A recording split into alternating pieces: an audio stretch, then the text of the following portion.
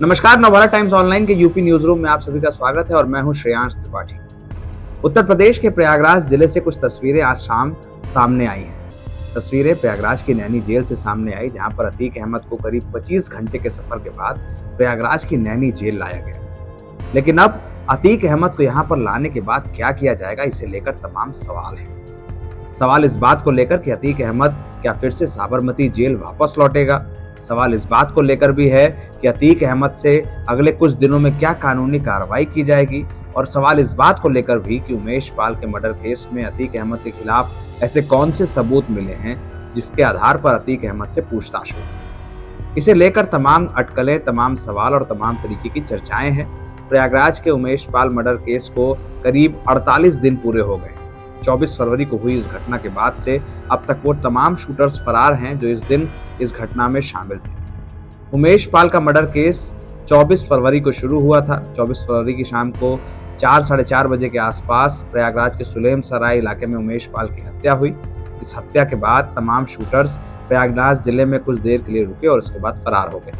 ये सारी details police की शुरुआती जाँच में सामने आई, जिसमें अतीक अहमद को साजिशकर्ता मानते हुए पुलिस ने एफआईआर में उनका और उनकी पत्नी का नाम शामिल किया। अतीक की पत्नी शाइस्ता फ़िलहाल फरार है और अतीक अहमद ने यह कहा है कि वो इसलिए फरार है क्योंकि वो गिरफ्तारी से बचना चाहते हैं। अतीक ने यह बयान राजस्थान के बूंदी ज़िले में दिया और कहा कि क्या शाइस्ता परवीन को सरेंडर इसलिए कर देना चाहिए कि वो पुलिस की हिरासत में लेकिन सबसे बड़ी बात यह है कि अतीक अहमद के प्रयागराज आने पर क्या होगा? तो शुरुआती जानकारी जो मिली है उसके मुताबिक नैनी जेल में बंद अतीक अहमद को अब सीजेएम की कोर्ट में पेश किया जाएगा। शुक्रवार को उसकी पेशी होगी। पेशी के दौरान अतीक अहमद का भाई अशरफ उसके साथ मौजूद रहेगा और इसके बाद अतीक अहमद की रिमांड मांगने की तैयारी की जाएगी। चौदह दिनों की रिमांड पर पुलिस उसे लेने की तैयारी कर रही है, जिसके लिए तमाम दस्तावेज़ खंगाले गए हैं। इसके अलावा प्रयागराज में ईडी का छापा भी पड़ा है। गुरुवार को ईडी ने पाँच बड़े कारोबारियों के घर पर कार्रवाई की है। इसके अलावा अतीक अहमद के वकील सौलत हनीफ के घर पर भी छापेमारी की गई। है सौलत हनीफ को कहा जाता है कि वो अतीक अहमद को सारे कानूनी दावपेच सिखाता था और इसके बाद ही अतीक अहमद तमाम मुकदमों में पैरवी करता था। तो अतीक अहमद के पूरे साम्राज्य पर पुलिस ने जिस तरह से कार्रवाई की है, उसे देखकर ये माना जा रहा है कि अतीक के ऊपर अब फाइनल असॉल्ट की तैयारी है, जैसे कहते हैं कि अंतिम हमला जिसे कहा जाता है, अंतिम प्रहार जिसे कहा जाता है। अतीक अहमद के खिलाफ वो कार्रवाई करने की कोशिश है। सबसे बड़ी बात यह है कि अतीक अहमद को आने वाले कुछ दिनों में तमाम कानूनी कार्रवाई का सामना करना पड़ेगा। उसके ऊपर दो मुकदमे एक साथ चलेंगे, एक उमेश पाल का मर्डर केस और दूसरा राजू पाल का मर्डर केस।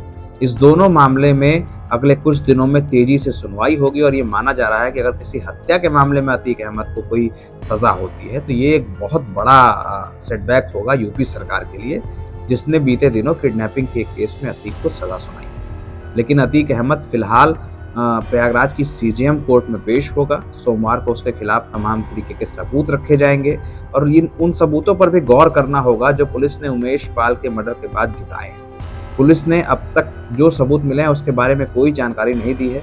इसलिए न्यायालय में अब ये देखना ज़रूर होगा कि पुलिस अदालत में किन पक्षों को रखती है और अतीक के मामले में किस तरह से रिमांड मांगती है। इस पूरे मामले को लेकर शुक्रवार का दिन अहम है।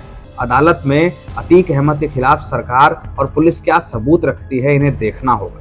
अगर सबूत पुख्ता मिले तो अतीक अहमद को 14 दिन या उससे ज़्यादा समय के लिए रिमांड पर भेजा जा सकता है। शुरुआती तौर पर 14 दिन की रिमांड मिलेगी और इसे आगे भी बढ़ाया जाएगा। अतीक अहमद से उमेश पाल मर्डर केस को लेकर तमाम पूछताछ होगी।